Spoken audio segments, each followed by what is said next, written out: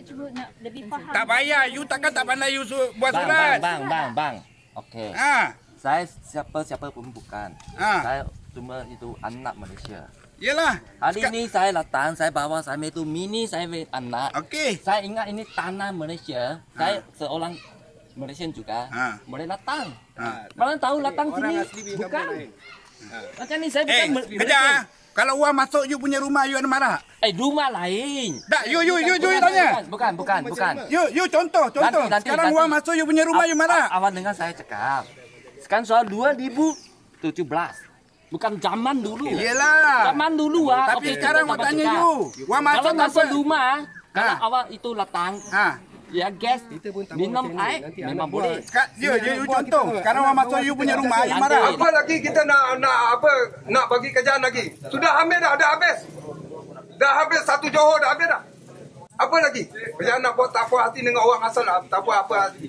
Tak kata kata kata. Dalam sungai pula itu, nek moyang saya sampai sedikit dekat Johor tu. Sampai Johor ke Johor.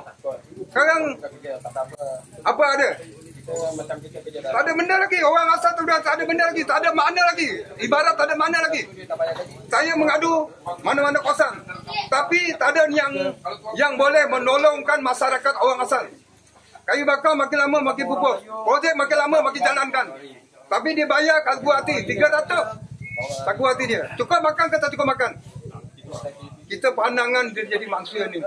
Tapi manusia kita boleh cakap. Tapi manusia tak faham. Kenapa tak faham? Itu saya tak larang kerjaan membuat bangunan. Saya tak larang. Tapi dia bagi saya sagu hati. Cukup kata cukup. 300 cukup kata cukup. Tuan-tuan uh, fikirkan. Dari nek moyang kita tahu tak? Turun menurun tahu tak? Bukan satu uh, 10 abad tahu tak? Saya tahu kata 10 abad atau bila? Atau berapa lama? Sampai sekarang. Sungai Pulai pun ada kat tu. Bukan milik kita. Milik kerajaan. Milik yang ada buat projek ni. Bukan kita dapat. Kita tagak pun tak guna. Kita tahan pun tak guna. Ha, tak ada benda makna dia. Saya banyak kali lah mengalu-ngalu untuk apa untuk bantu masyarakat orang asal. Tapi tak ada orang bantu. Dalam main sungai pula saya cakap terus terang itu susah orang saya nasi orang saya.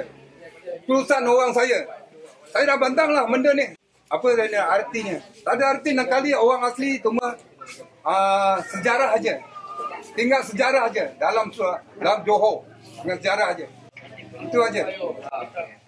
Tapi kita sedih.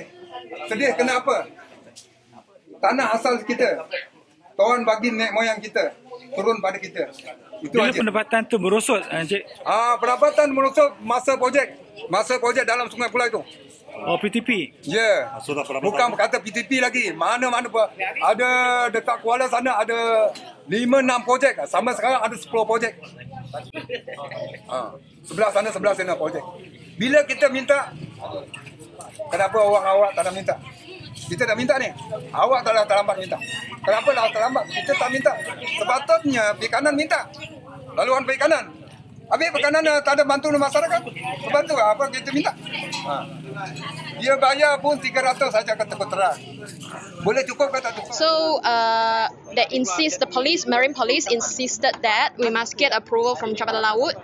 Then only we can go out. Especially they say that they claim that it is the fisherman boat cannot be used for the uh, tourism.